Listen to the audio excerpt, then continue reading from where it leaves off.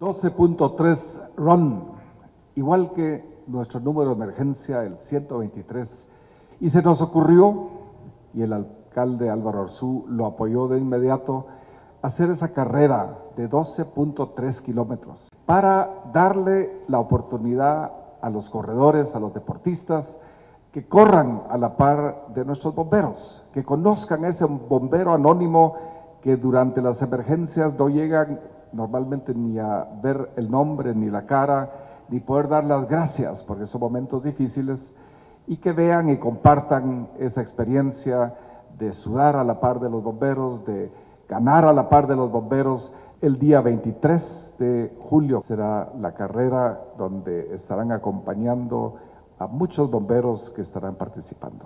Así que bienvenidos a esta actividad, al 12.3 RON Cuerpo de Bomberos Municipales. Muchas gracias.